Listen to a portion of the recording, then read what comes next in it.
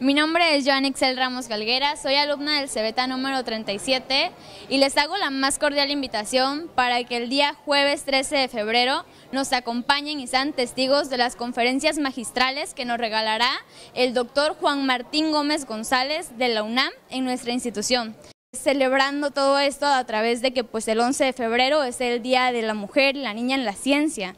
Entonces pues también nosotras trabajamos por eso, ¿no? Porque a veces se nos tacha de que la mujer es solo el pilar del hogar y pues en nuestra opinión es el pilar también de la ciencia porque la mujer es fuerza, porque la mujer cuando quiere algo lo consigue y gracias a esa perseverancia ha logrado sobresalir tanto.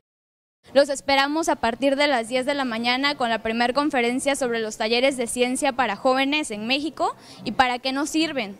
Porque como jóvenes es muy importante que empecemos con esto de la ciencia, esto de la tecnología, porque es un futuro y nosotros somos el futuro y el presente, entonces tenemos que irnos orientando a lo que queremos y es una oportunidad muy buena para todos los alumnos de educación media superior. Gobierno Municipal de San Pedro Pochutla, 2019-2021. Gobierno con valores.